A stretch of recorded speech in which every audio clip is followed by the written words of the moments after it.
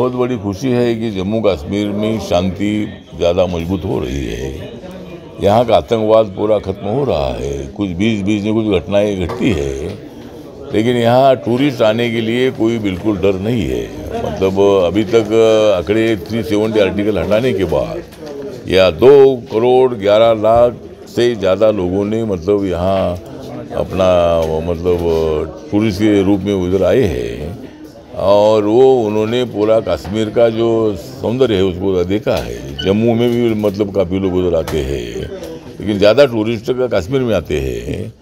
तो यहाँ शांति है और अभी माननीय एलजी साहब जो हमारी बात हुई है, मनोज सिन्हा साहब से, उन्हें बताया है कि भाई, नौजवानों को, बेरोजगारों को रोज़गार मिलना बहुत बड़ा ज़रूरी है। और इसलिए जहाँ जहाँ बैकलॉग है, जहाँ जहाँ रिक्रूटमेंट आवश्यक है वह हर महीने में हम रिक्रूटमेंट करने की कोशिश कर रहे हैं। और यहाँ के नौजवानों को रोज़गार सरकारी देने की भी कोशिश है। और होटल इंडस्ट्री है बाकी की इंडस्ट्री है, उनके लिए ज़मीन भी दे दी गई है।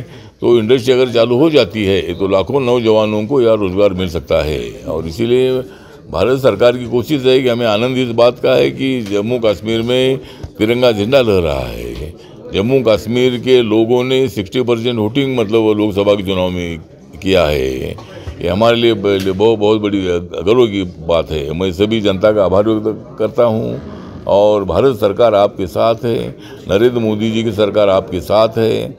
आपके लिए मैक्सिमम बजट देकर यहाँ का जो रोड का डेवलपमेंट है, ट्रेन का मतलब रेल लाइनें हैं या बेरोजगारी है, किसानों के लिए ज़्यादा मदद है विधवा महिलाओं को मदद है, दिव्यांगजन है, शेड्यूल कास्ट है, ओबीसी है, सभी लोगों को न्याय देने की कोशिश मतलब हमारी सरकार की है। जानबूझकर पाकिस्तान के माध्यम से, पाक व्याप्त कश्मीर के माध्यम से मतलब यहाँ आतंकवादी आते हैं और यहाँ थोड़ी गड़बड़ होती है।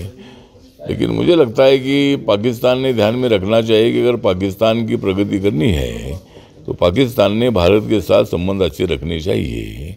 पाकिस्तान ने आतंकवाद को खत्म करना चाहिए।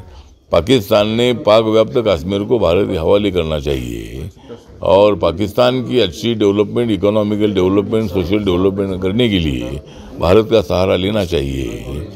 तो ये कब मतलब बुद्धि कश्मीर पाकिस्तान को आएगी मालूम नहीं है। लेकिन ऐसा आतंकवाद फैलाकर उनको क्या फ़ायदा है? मतलब जानबूझकर इसी तरह की घटनाएँ घटती रहे पचहत्तर सालों में। ये मतलब सिलसिला जारी है जब से देश को आज़ादी